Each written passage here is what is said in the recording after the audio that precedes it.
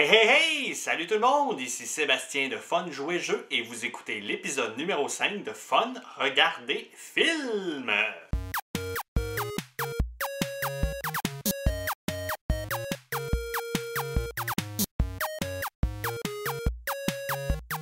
Cette semaine, c'est une semaine vraiment spéciale parce que j'ai une grosse nouveauté pour vous.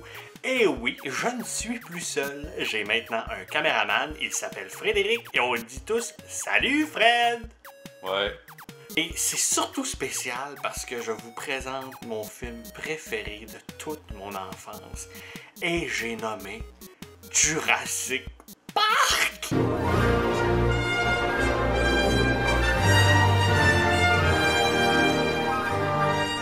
Que j'ai vraiment besoin de vous présenter Jurassic Park? Ouais. Ok, juste pour Fred, on va le faire. Jurassic Park est un film sorti en 1993, réalisé par Steven Spielberg. Si vous ne savez pas qui est Steven Spielberg, vous n'avez jamais vu de film parce que Steven Spielberg a réalisé à peu près tous les classiques du cinéma. Jaws, La liste de Schindler, euh, Indiana Jones, E.T.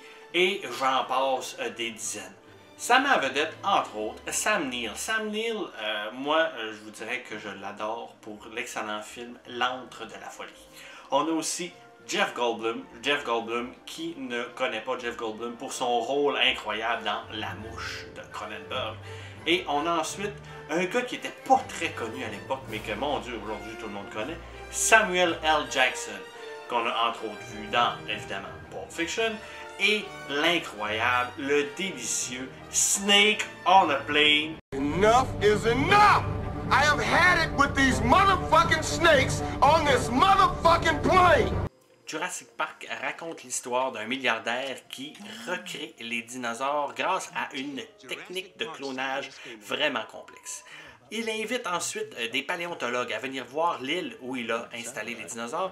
Mais bon, les paléontologues arrivent sur l'île. Évidemment, les dinosaures réussissent à s'échapper, bouffent tout le monde. On doit se sauver de là en vitesse.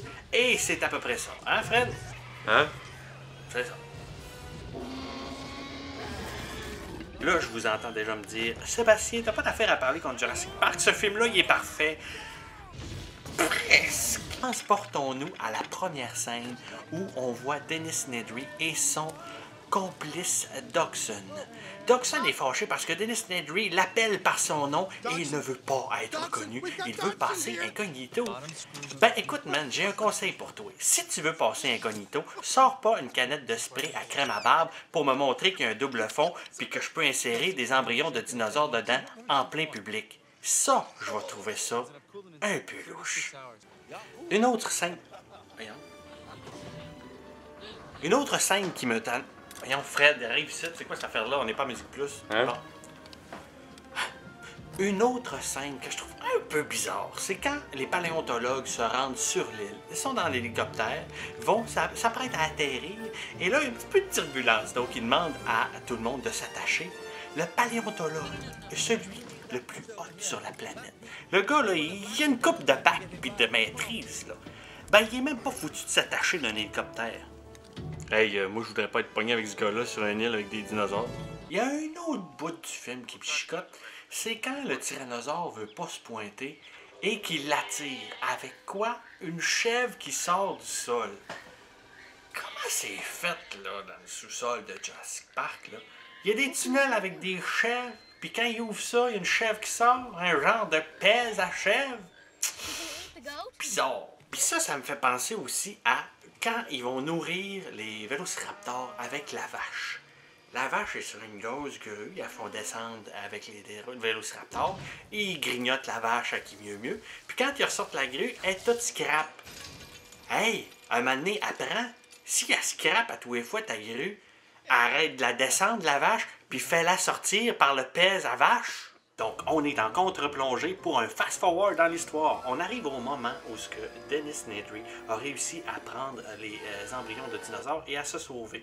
Évidemment, tout tourne mal, c'est la tempête, il rentre en panne avec son char. Il rencontre un dilophosaure, le dilophosaure l'attaque, l'aveugle, il essaie de rentrer dans son char, il est pas capable, il tombe à terre, il finit par rentrer dans son char, ferme la porte. Qu'est-ce qu'il y a à côté de lui?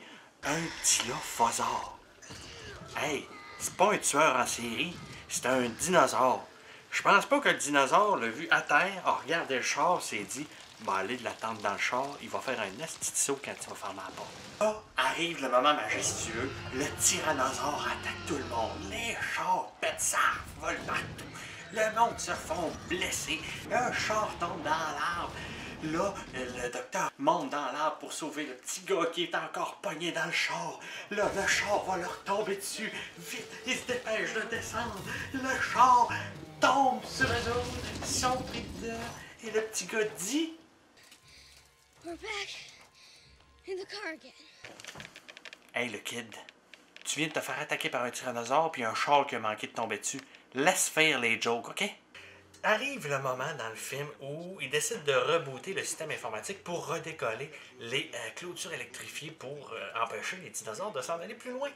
Donc, il ferme tout, ouvre tout le système, les breakers décollent pas. Donc, le noir, joué par Samuel Jackson, dit Je sais ce qu'ils sont les breakers, ils sont plus loin d'une petite cabane, je vais aller les ouvrir. Évidemment, il revient pas. Fait que la fille, elle se dit Moi, je vais y aller les redécoller, les breakers. Qu'est-ce que le chasseur de dinosaures dit Hey, je te laisse pas y aller tout seul. Puis qu'est-ce qu'ils prennent avec eux autres? Des guns puis des walkie-talkies. Le noir a pas le droit de n'avoir, lui. C'est quoi, les, les dinosaures mangent pas des noirs? Mr. Arnold. Oh, non, ils mangent des noirs aussi. Arrive le bout où on va crêper la clôture électrifiée. À la fois, c'est drôle parce qu'il fait semblant qu'il est électrifié puis qu'il va mourir. Mais en même temps, c'est totalement stupide. Parce que, regardez bien ce qu'il essaye de faire. Hey, euh, buddy. C'est parce que c'est une clôture qui est supposée résister à un tyrannosaure. Là, on arrive au bout épeurant du film. Les flots sont enfermés dans la cuisine. Le vélociraptor réussit à ouvrir la porte. Il se redresse sur ses deux jambes. Il se lève la tête. Je pense qu'il y a une boule de poêle dans la gorge. Dernière scène, mais je vous jure, celle-là, à toutes les fois que je la vois, elle me frustre. La fille est en train de hacker le système de clôture électrifiée sur un système informatique. Fouillez-moi que c'est ça, ce cochonnerie-là.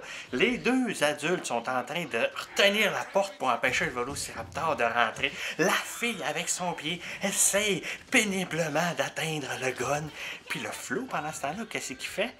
Il stresse puis il saute sur place.